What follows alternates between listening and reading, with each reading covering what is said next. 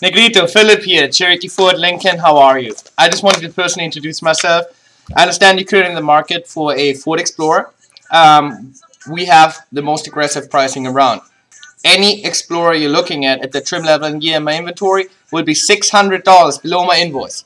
That's my invoice, not MSRP. You have just arrived at the lowest price. In addition to that, all the other incentives are still applicable. For example, the $1,000 you pick, there might be more that you qualify for. We'll have to take a look at that. And um, yeah, you're looking at a fantastic deal, negotiation free. Um, in, in addition to that, let me know what questions you have about the Explorers. I know everything just to know about them. When you can come down here for a test drive. And again, I can really answer any question you have right there and then on the spot. Or if you want to, I can show you what you could buy one for that's currently in my inventory under your price point. Um, I'm looking forward to your response and have a wonderful day. Goodbye.